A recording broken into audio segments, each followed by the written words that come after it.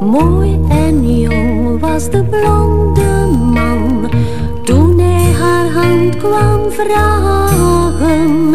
Maar haar vader zei niets daarvan. Calola, calola, vita.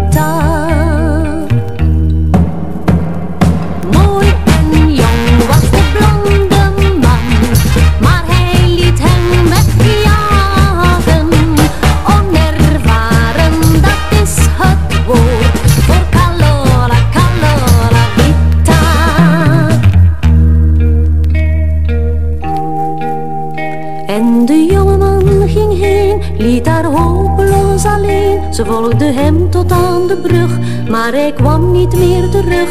Papa leest nu weer zijn krant, net of er is niets aan de hand. Hij denkt er gewoon niet aan, dat er liefde kan bestaan.